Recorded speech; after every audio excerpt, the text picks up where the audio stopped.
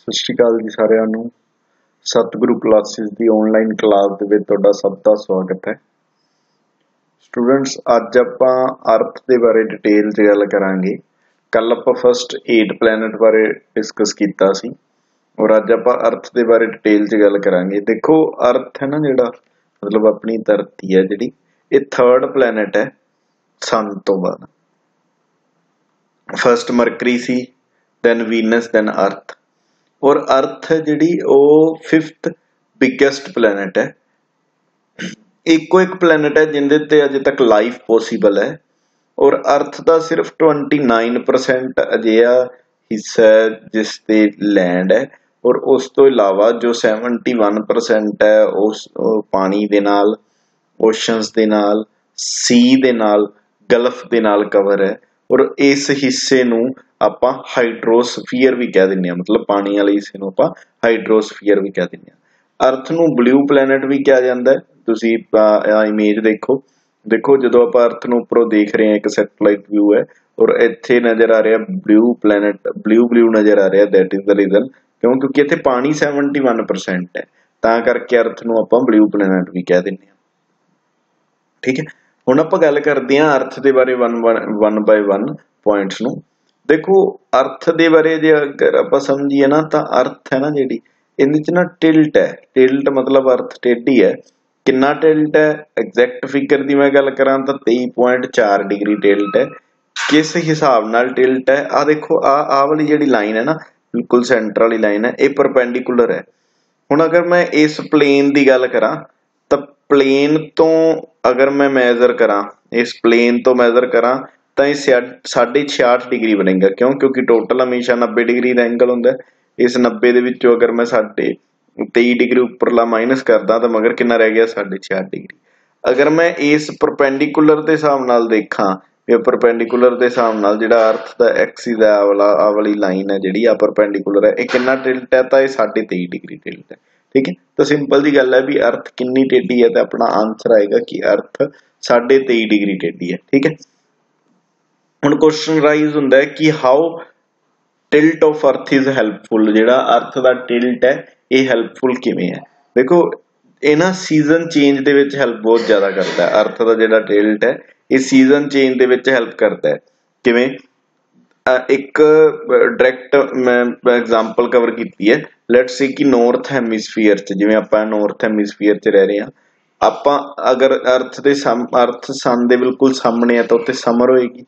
Then ਉਸ ਤੋਂ ਬਾਅਦ ਔਟਮ ਦੈਨ ਉਸ ਤੋਂ ਬਾਅਦ ਵਿੰਟਰ ਦੈਨ ਸਪ੍ਰਿੰਗ ਐ ਅਰਥ ਮੂਵ ਕਰ ਰਹੀ ਹੈ, ਹਨਾ? ਤਾਂ ਹੁਣ ਦੇਖੋ ਜਦੋਂ ਜਿਸ ਟਾਈਮ ਤੇ ਵਿੰਟਰ ਆਇਆ ਨਾ ਵਿੰਟਰ ਵਾਲੇ ਟਾਈਮ ਤੇ ਕੀ ਹੈ? ਵੀ ਅਰਥ ਹੈ ਨਾ ਜਿਹੜੀ ਅਰਥ ਦੇ ਟਿਲਟ ਦੇ ਕਰਕੇ ਔਰ ਅਰਥ ਦੇ ਘੁੰਮਣ ਦੇ ਕਰਕੇ ਹੋਇਆ ਕਿ ਜਿਹੜੀ ਅਰਥ ਹੈ, ਉਹ ਉਹ ਨਾਰਥ ਹੈਮਿਸਫੀਅਰ ਹੈ ਜਿਹੜਾ, ਉਹ ਦੂਸਰੀ ਸਾਈਡ ਚਲਾ ਗਿਆ ਅਡਾਰਕ ਅਡਾਰਕ ਵਾਲੀ ਸਾਈਡ ਆ ਗਿਆ, ਠੀਕ ਹੈ? ਮਤਲਬ ਕੀ ਹੋਇਆ ਕਿ ਜਦੋਂ ਇਹ ਦੂਸਰੀ ਸਾਈਡ ਚਲਾ ਗਿਆ ਤਾਂ ਸਨ ਰੇਜ਼ ਡਾਇਰੈਕਟ ਨਹੀਂ ਪੈ ਰਹੀਆਂ। ਹੁਣ ਇੱਥੇ ਜਿਹੜਾ ਸਦਰਨ ਹੈਮਿਸਫੀਅਰ ਹੈ, ਮਤਲਬ ਸਾਊਥ ਵਾਲਾ ਪਾਰਟ ਹੈ, ਉੱਥੇ ਸਮਰ ਆ ਜਾਏਗੀ। ਜਮਾ ਇਹਦੇ ਆਪੋਜ਼ਿਟ ਡਾਇਗਰਾਮ ਦੇਖੋ, ਜਦੋਂ ਇੱਥੇ ਨਾਰਥ ਹੈਮਿਸਫੀਅਰ 'ਚ ਸਮਰ ਸੀ, ਮਤਲਬ ਸਨ ਰੇਜ਼ ਡਾਇਰੈਕਟ ਪੈ ਰਹੀਆਂ ਸੀ, ਤਾਂ ਕੁਐਸਚਨ ਇਹ ਪੁੱਛਿਆ ਜਾਂਦਾ ਹੁੰਦਾ ਕਿ ਇਹ ਅਰਥ ਦਾ ਟਿਲਟ ਯੂਜ਼ਫੁਲ ਕਿਵੇਂ ਹੈ? ਤਾਂ ਯੂ ਹੈਵ ਟੂ ਆਨਸਰ ਕਿ ਅਰਥ ਦਾ ਜਿਹੜਾ ਟਿਲਟ ਹੈ, ਇਹ ਸੀਜ਼ਨ ਚੇਂਜ ਦੇ ਵਿੱਚ ਹੈਲਪ ਕਰਦਾ ਹੈ। ਉਸ ਤੋਂ ਬਾਅਦ ਦੇਖੋ। ਨੈਕਸਟ ਆਪਾਂ ਟਰਮ ਡਿਸਕਸ ਕਰਨੀ ਹੈ rotation versus revolution first of all rotation ਹੁੰਦਾ ਕੀ ਹੈ? ਟੂ ਸਪਿਨ অর ਟਰਨ ਇਹ ਮਤਲਬ ਕੀ ਹੈ ਕਿ ਜਦੋਂ ਵੀ ਕੋਈ ਵੀ ਇੱਕ ਆਬਜੈਕਟ ਹੈ, ਉਹ ਆਪਦੇ ਐਕਸਿਸ ਆਪਦੇ ਧੁਰੇ ਦੇ ਦੁਆਲੇ ਘੁੰਮਦੀ ਹੈ ਤਾਂ ਉਹਨੂੰ ਰੋਟੇਸ਼ਨ ਕਹਿੰਦੇ ਆ। ਰੈਵੋਲੂਸ਼ਨ ਦਾ ਮਤਲਬ ਹੁੰਦਾ to go around for example earth ਜਦੋਂ ਸਨ ਦੇ ਅਰਾਊਂਡ ਘੁੰਮ ਰਹੀ ਹੈ ਤਾਂ ਉਹ ਰੈਵੋਲੂਸ਼ਨ ਹੈ। ਅਗਰ ਆਪਾਂ ਰੋਟੇਸ਼ਨ ਦੀ ਗੱਲ ਕਰੀਏ ਤਾਂ ਅਰਥ ਅਪਰੋਕਸੀਮੇਟ 24 ਘੰਟੇ, ਜਿਹੜੀ ਕਿ ਐਗਜ਼ੈਕਟ ਫਿਗਰ ਹੈ 23 ਘੰਟੇ 56 ਮਿੰਟ ਐਗਜ਼ੈਕਟ ਫਿਗਰ ਹੈ 23 ਘੰਟੇ 56 ਮਿੰਟ 4 ਸਕਿੰਟ ਕਿੰਨੀ? ਰੋਟੇਸ਼ਨ ਦੀ। 23 ਘੰਟੇ 56 ਮਿੰਟ ਤੇ 4 ਸਕਿੰਟ ਠੀਕ ਹੈ।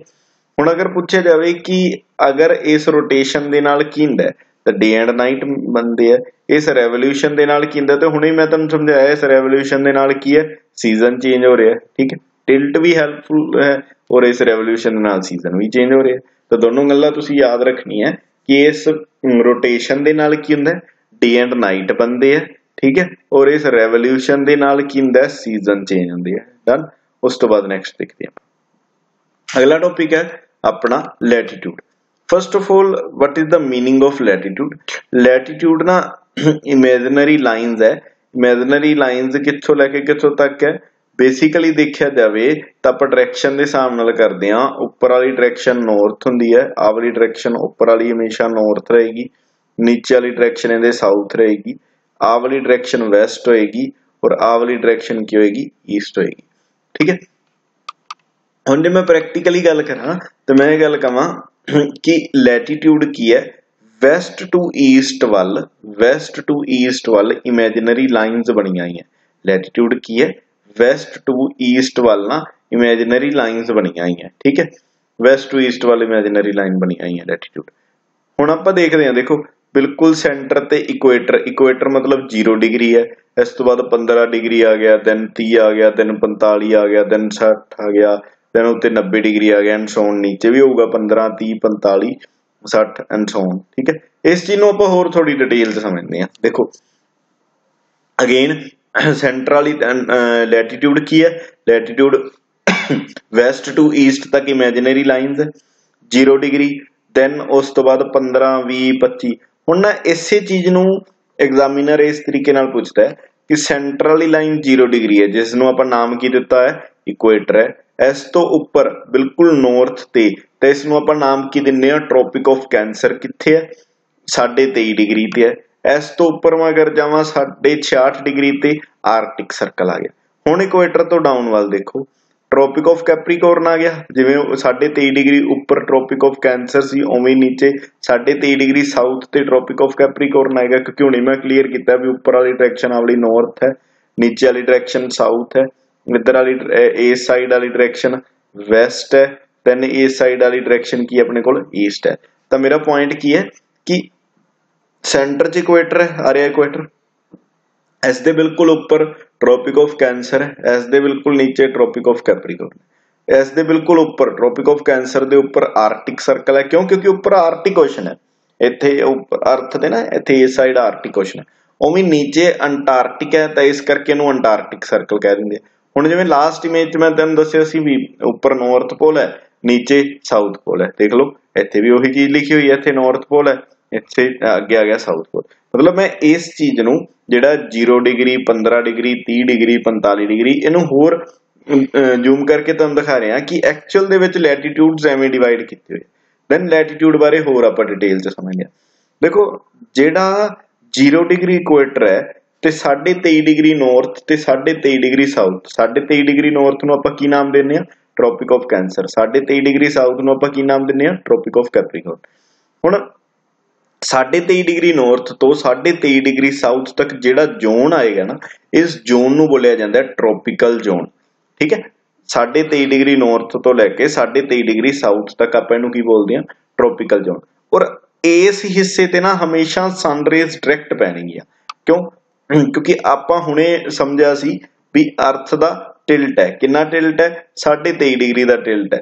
ਮਤਲਬ ਇਸ ਟੇਢੇ ਹੋਣ ਦੇ ਬਾਵਜੂਦ ਵੀ ਇਕੁਏਟਰ ਇਕੁਏਟਰ ਮਤਲਬ ਭੂਮਧ ਰੇਖਾ ਤੇ ਹਮੇਸ਼ਾ ਅਰਥ ਜਿਹੜੀਆਂ ਸੂਰਜ ਦੀਆਂ ਕਿਰਨਾਂ ਬਿਲਕੁਲ ਸਿੱਧੀਆਂ ਪੈਂਦੀਆਂ। ਆਪਾਂ ਨੂੰ ਇਹ ਚੀਜ਼ ਬੜੀ ਕਲੀਅਰਲੀ ਪਤਾ ਤਾਂ ਕੀ ਹੈ ਵੀ ਇਸ ਹਿੱਸੇ ਤੇ ਨਾ ਸਨਰੇਜ਼ ਬਿਲਕੁਲ ਡਾਇਰੈਕਟ ਪੈਣੀ ਆ ਤਾਂ ਪੁਆਇੰਟ ਇਹ ਹੈ ਵੀ ਇਸ ਹਿੱਸੇ ਨੂੰ 0 ਡਿਗਰੀ ਤੋਂ ਲੈ ਕੇ 23.5 ਡਿਗਰੀ ਨਾਰਥ ਤੇ 0 ਡਿਗਰੀ ਤੋਂ ਲੈ ਕੇ 23.5 ਡਿਗਰੀ ਸਾਊਥ ਤੱਕ ਇਸ ਹਿੱਸੇ ਨੂੰ ਨਾ ਇਸ ਜ਼ੋਨ ਨੂੰ ਟ੍ਰੋਪੀਕਲ ਜ਼ੋਨ ਕਹਿੰਦੇ ਆ। ਦੈਨ 23.5 ਡਿਗਰੀ ਨਾਰਥ ਤੋਂ ਲੈ ਕੇ 66 ਡਿਗਰੀ ਜਿਹੜਾ ਨਾਰਥ ਹੈ 23.5 ਨਾਰਥ ਟੂ 66.5 ਨਾਰਥ ਤੱਕ ਇਹਨੂੰ ਟੈਂਪਰੇਟ ਜ਼ੋਨ ਕਹਿ ਦਿੰਦੇ ਔਰ ਅਗੇਨ ਸਾਊਥ ਵਾਲੇ ਜ਼ੋਨ ਨੂੰ ਅਗੇਨ ਟੈਂਪਰੇਟ ਜ਼ੋਨ ਕਹਿ ਦਿੰਦੇ ਠੀਕ ਹੈ? ਹੁਣ ਲਾਸਟ ਤੇ ਉੱਪਰ ਕੀ ਹੋਏਗਾ? ਸਨਰੇਜ਼ ਕਿਵੇਂ ਹੈ? ਟੇਢੇ ਹੋਣ ਕਰਕੇ ਜਿਵੇਂ ਤੁਸੀਂ ਆਪ ਇਮੇਜਿਨ ਕਰ ਸਕਦੇ ਹੋ। ਵੀ ਕੋਈ ਵੀ ਆਬਜੈਕਟ ਅਗਰ ਟੇਢੀ ਹੈ ਟੇਢੀ ਹੈ ਤਾਂ ਕੀ ਹੋਏਗਾ? ਸਨਰੇਜ਼ ਹੈ, ਜਿਹੜੀਆਂ ਉੱਪਰ ਵਾਲੇ ਹਿੱਸੇ ਤੇ ਨਹੀਂ ਪੈਣੀਆਂ ਸਹੀ ਅਰਥ ਦੇ ਇਸ ਉੱਪਰ ਵਾਲੇ ਹਿੱਸੇ ਤੇ, ਹਨਾ? ਨਹੀਂ ਪੈਣੀਆਂ ਤੇ ਤੇ ਬਰਫ਼ ਹੋਏਗੀ ਦੈਟ ਇਜ਼ ਦਾ ਰੀਜ਼ਨ ਇਸ ਜ਼ੋਨ ਨੂੰ ਕੀ ਕਹਿ ਦਿੰਦੇ ਆ? ਪੋਲਰ ਜ਼ੋਨ ਪੋਲਰ ਜ਼ੋਨ ਕਹਿ ਦਿੰਦੇ ਆ, ਠੀਕ ਹੈ? ਦੈਨ ਇੱਕ ਇੱਕ ਹੋਰ ਚੀਜ਼ ਦੇਖੋ।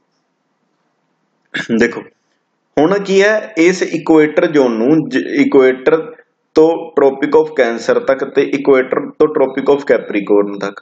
ਜਿਹਨੂੰ ਆਪਾਂ ਟ੍ਰੋਪੀਕਲ ਜ਼ੋਨ ਦਾ ਨਾਮ ਦਿੰਨੇ ਆ ਇਸ ਨੂੰ ਅਨਦਰ ਨੇਮ ਨਾਲ ਜਾਣਿਆ ਜਾਂਦਾ ਹੈ, ਕੀ ਕਹਿੰਦੇ ਆ ਇਹਨੂੰ? ਟੋਰਿਡ ਜ਼ੋਨ ਕਹਿ ਦਿੰਦੇ ਆ, ਠੀਕ ਹੈ? ਟੋਰਿਡ ਦਾ ਮਤਲਬ ਹੁੰਦਾ ਹੈ ਹੌਟ ਜ਼ੋਨ ਜਿੱਥੇ ਬਹੁਤ ਜ਼ਿਆਦਾ, ਕਿਉਂਕਿ ਆ ਵੇਖੋ, ਇੱਥੇ ਇਸ ਹਿੱਸੇ ਤੇ ਸਨਰੇਜ਼ ਡਾਇਰੈਕਟ ਪੈ ਰਹੀਆਂ ਨਾ, ਤਾਂ ਇਸ ਕਰਕੇ ਇਸ ਟ੍ਰੋਪੀਕਲ ਜ਼ੋਨ ਨੂੰ ਅਨਦਰ ਕਿਹੜੇ ਨਾਮ ਨਾਲ ਜਾਣਿਆ ਜਾਂਦਾ ਹੈ? ਟੋਰਿਡ ਜ਼ੋਨ ਨਾਲ ਜਾਣਿਆ ਜਾਂਦਾ ਫਿਰ ਦੇਖੋ ਜਿਵੇਂ ਜਿਹੜਾ ਆਪਾਂ ਕਿਹਾ ਨਾ, ਉੱਪਰ ਵਾਲਾ ਜ਼ੋਨ ਗ੍ਰੀਨ ਗ੍ਰੀਨ ਆ ਵਾਲਾ ਜ਼ੋਨ ਹੈ ਜਿਹੜਾ, ਇਹ ਟੈਂਪਰੇਟ ਜ਼ੋਨ ਹੈ, ਨੀਚੇ ਗ੍ਰੀਨ ਗ੍ਰੀਨ ਇਹ ਵੀ ਟੈਂਪਰੇਟ ਜ਼ੋਨ ਹੈ। ਇਹਨੂੰ ਹੋਰ ਦੇਖੀਏ ਤਾਂ ਦੇਖੋ, ਆਪਾਂ ਨਾਰਥ ਤੇ ਚਲੇ ਗਏ, ਕਿਉਂਕਿ ਉੱਪਰ ਵਾਲੀ ਡਾਇਰੈਕਸ਼ਨ ਨਾਰਥ ਸੀ, ਨੀਚੇ ਵਾਲੀ ਡਾਇਰੈਕਸ਼ਨ ਸਾਊਥ ਹੈ ਉੱਪਰ ਆਪਾਂ ਨਾਰਥ ਚ ਚਲੇ ਗਏ। ਹੁਣ ਆਪਾਂ ਇਹਨੂੰ ਕੀ ਕਵਾਂਗੇ? ਨਾਰਥ ਟੈਂਪਰੇਟ ਜ਼ੋਨ ਔਰ ਨੀਚੇ ਵਾਲੇ ਨੂੰ ਕੀ ਕਵਾਂਗੇ?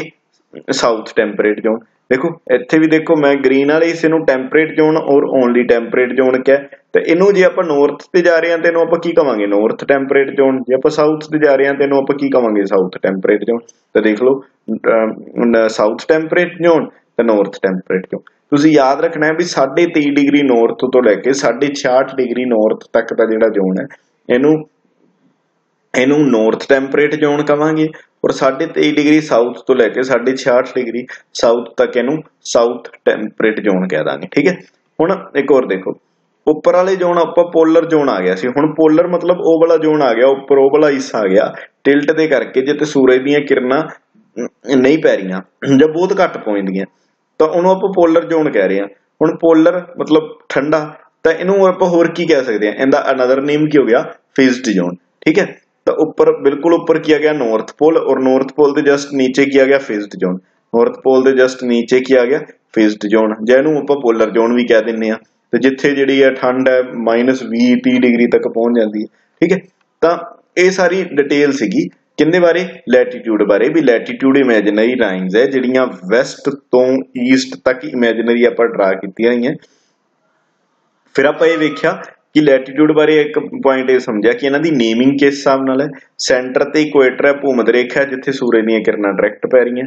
ਉਸ ਤੋਂ ਉੱਪਰ ਟ੍ਰੋਪਿਕ ਆਫ ਕੈਂਸਰ ਆ ਗਿਆ ਤੇ ਨੀਚੇ ਵਾਲੀ ਸਾਈਡ ਟ੍ਰੋਪਿਕ ਆਫ ਕੈਪਰੀਕੋਰਨ ਆ ਗਿਆ। ਉੱਪਰ ਆਰਟਿਕ ਸਰਕਲ ਆ ਗਿਆ, ਨੀਚੇ ਅੰਟਾਰਕਟਿਕ ਸਰਕਲ ਆ ਗਿਆ। ਠੀਕ ਹੈ? ਅਗਰ ਤੁਹਾਨੂੰ ਇਹ ਪੁੱਛਿਆ ਜਾਵੇ ਕਿ ਇਸ ਲਾਈਨਸ ਦਾ ਬੈਨੀਫਿਟ ਕੀ ਹੈ, ਤਾਂ ਸਿੰਪਲ ਜੀ ਗੱਲ ਹੈ ਕਿ ਜਿੱਥੇ ਜਿਸ ਜ਼ੋਨ ਤੇ ਸੂਰਜ ਦੀਆਂ ਕਿਰਨਾਂ ਡਾਇਰੈਕਟ ਪੈਣੀਆਂ ਨਾ, ਉੱਥੇ ਉਨੀ ਜ਼ਿਆਦਾ ਗਰਮੀ ਵੱਧ ਹੋਏਗੀ। ਕਿਉਂ? ਕਿਉਂਕਿ ਇਸ ਸੂਰਜ ਆਪਣੀ ਧਰਤੀ ਦੇ, ਇਸ ਟਿਲਟ ਦੇ ਕਰਕੇ ਨਾ, ਇਸ 23.5 ਡਿਗਰੀ ਟੇਢੇ ਹੋਣ ਦੇ ਕਰਕੇ, ਅਗਰ ਲੈਟਸ ਸਪੋਜ਼ ਕਿ ਬਿਲਕੁਲ ਸੈਂਟਰ ਤੇ ਸਨ ਹੈ, ਠੀਕ ਹੈ, ਤਾਂ ਬਿਲਕੁਲ ਸੈਂਟਰ ਤੇ ਅਗਰ ਸਨ ਹੈ, ਅਗਰ ਬਿਲਕੁਲ ਸੈਂਟਰ ਤੇ ਇੱਥੇ ਇਹ ਇੱਥੇ ਇਸ ਹਿੱਸੇ ਤੇ ਮੰਨ ਲਓ ਸਨ ਹੈ, ਠੀਕ ਹੈ? ਬਿਲਕੁਲ ਸੈਂਟਰ ਤੇ ਆਪਾਂ ਲੈ ਕੇ ਚੱਲਦੇ ਹਾਂ ਪ੍ਰੋਵੀਜ਼ਨ ਲੈ ਕੇ ਚੱਲਦੇ ਹਾਂ ਥੋੜਾ ਜਿਹਾ ਨੀਚੇ ਹੋਰ ਇਹਨੂੰ ਡਰਾ ਕਰ ਲੈਨੇ ਆ ਵੀ ਇੱਥੇ ਨਾ ਸਨ ਹੈ। ਹੁਣ ਦੇਖੋ ਜਿਹੜੀਆਂ ਸਨ ਰੇਜ਼ ਹੋਣਗੀਆਂ ਨਾ, ਉਹ ਇਸ ਹਿੱਸੇ ਤੇ ਬਿਲਕੁਲ ਡਾਇਰੈਕਟ ਪੈ ਰਹੀਆਂ ਹੋਣਗੀਆਂ, ਠੀਕ ਹੈ? ਹੁਣ ਅਗਰ ਬਿਲਕੁਲ ਸੈਂਟਰ ਤੇ ਸਨ ਰੇਜ਼ ਡਾਇਰੈਕਟ ਪੈ ਰਹੀਆਂ ਹੋਣਗੀਆਂ ਕਿਹੜੇ ਕਿਹੜੇ ਹਿੱਸੇ ਤੇ ਡਾਇਰੈਕਟ ਪੈ ਰਹੀਆਂ ਹੋਣਗੀਆਂ? ਬਿਲਕੁਲ ਇਸ ਹਿੱਸੇ ਤੇ ਡਾਇਰੈਕਟ ਪੈ ਰਹੀਆਂ ਹੋਣਗੀਆਂ ਇੱਧਰ, ਇੱਥੇ ਇੱਥੇ ਡਾਇਰੈਕਟ ਪੈ ਰਹੀਆਂ ਹੋਣਗੀਆਂ ਠੀਕ ਹੈ? ਹੁਣ ਲੇਕਿਨ ਜੇ ਮੈਂ ਇਸੇ ਚੀਜ਼ ਨੂੰ ਹੋਰ ਥੋੜਾ ਜਿਹਾ ਐਨਾਲਾਈਜ਼ ਕਰਕੇ ਦੇਖਾਂ, ਤਾਂ ਮੈਂ ਕੀ ਦੇਖੂੰਗਾ? ਜਿਹੜਾ ਮੇਰਾ ਆਹ ਵਾਲਾ ਹਿੱਸਾ ਹੋਏਗਾ ਨਾ ਆਹ ਵਾਲਾ ਔਰ ਅਗੇਨ ਐਵੇਂ ਨੀਚੇ ਵਾਲੀ ਸਾਈਡ ਜਿਹੜਾ ਮੇਰਾ ਹਿੱਸਾ ਹੋਏਗਾ, ਠੀਕ ਹੈ?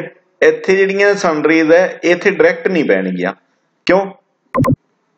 ਕਿਹੜੇ? ਇਸ ਹਿੱਸੇ ਤੇ ਇੰਨੀਆਂ ਡਾਇਰੈਕਟ ਨਹੀਂ ਪੈਣਗੀਆਂ, ਮਤਲਬ ਘੱਟ ਹੋਣਗੀਆਂ।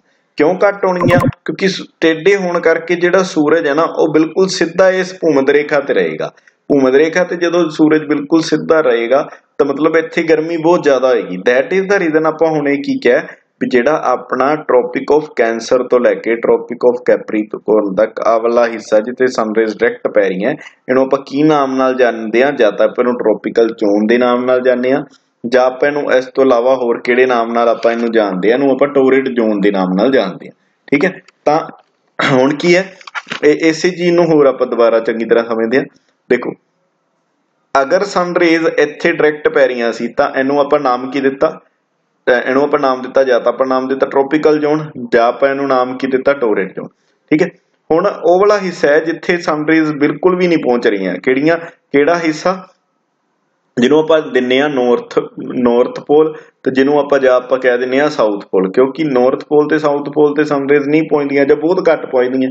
ਮਤਲਬ ਕੀ ਹੋਇਆ ਕਿ ਸਨਰੇਜ਼ ਨਾ ਸਿਰਫ ਇੰਨੇ ਹਿੱਸੇ ਤੱਕ ਹੀ ਜਾ ਰਹੀਆਂ ਠੀਕ ਹੈ?